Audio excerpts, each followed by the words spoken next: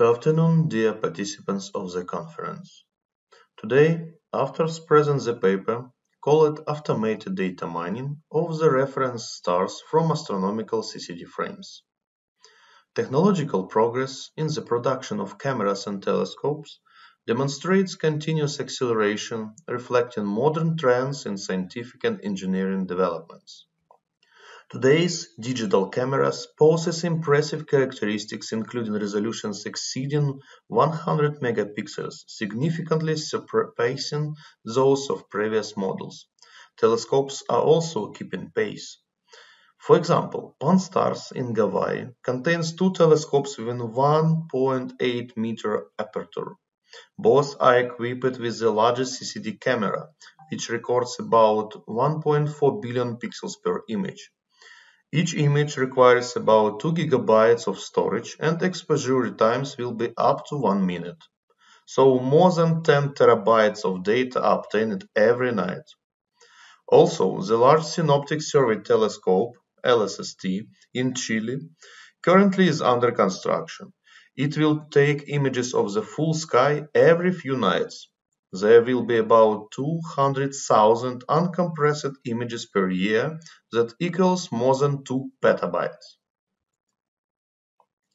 As the resolution of cameras and telescopes has increased over time, allowing for the registration and analysis of more detailed images of the night sky, this process directly impacts the ability to detect and study various objects in space. Some of them are solar system objects, variable stars, asteroids, comets, near-Earth objects, satellites, and other. The regular series of frames can contain hundreds of frames, where in one frame a lot of thousands of objects are presented. For scientific research and analysis, such big amount of data should be processed by special data preprocessing methods and data reduction models which simplify input by reducing unnecessary information.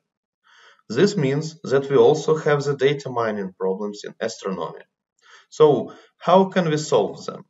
For the proper processing, we need to use all steps from the Knowledge Discovery Database KDD process, which contains the data mining stage in it. So, I want to tell you about the Lemur software of the Collection Light Technology, CoLiTec, project. The Lemur software implements all data mining steps during processing the different types of astronomical information, which is fed online in automated mode. There are different types of data mining and KDD tasks like discovery of the new object galaxies classes, identification of correlations, dependencies, gravitational lenses, prediction of changes in gamma ray burst, and others. On this slide you can see the results of frame processing by the Lemur software and processed frames with alignment and centered view on the right side. Also, detected moving objects are presented on the right side. The processing pipeline of the Lemur software is presented on this slide. After intra-frame processing, the classification of measurements is performed. The different classes contain measurements of objects with null, near zero, normal, and very fast apparent motion. Data mining and processing of these sets of objects is performed in parallel. This approach reduces the execution time. During the intra-frame processing stage, there is an identification process with astrometrical and astronomical catalogs. This is called astrometric reduction. For astrometric reduction, at first we need to recognize pixels that are related only to the real object signals. When software removes all unnecessary pixels from the input dataset to reduce the amount of the measurements for processing.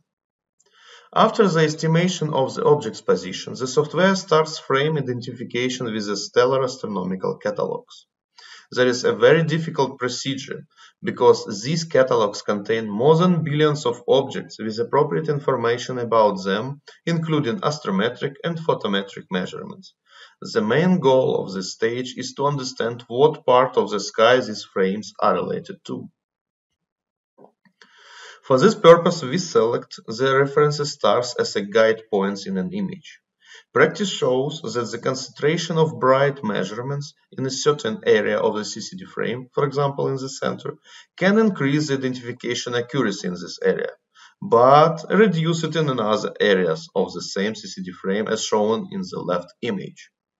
That's why, to ensure almost equal accuracy of object's coordinate measurements throughout the entire CCD frame, it is advisable to distribute candidates for reference stars evenly throughout the full frame.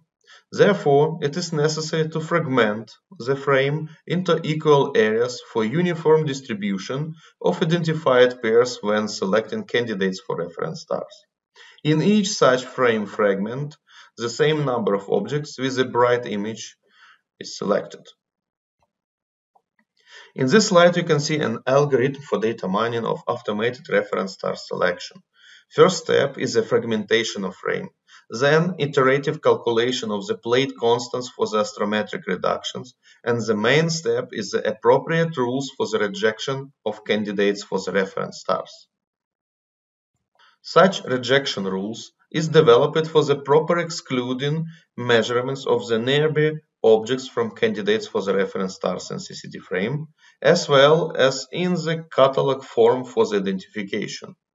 Another important criterion for rejection candidates is the absence of the brightness peak in the object's image in the CCD frame.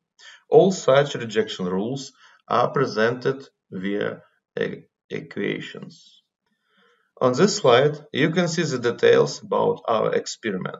The series of frames were received from the different telescopes from New Mexico, Slovakia, Chile, Ukraine, more than 27,000 measurements were used for research. Also, the parameters of, for the developed method are on slide. All of them were received empirically.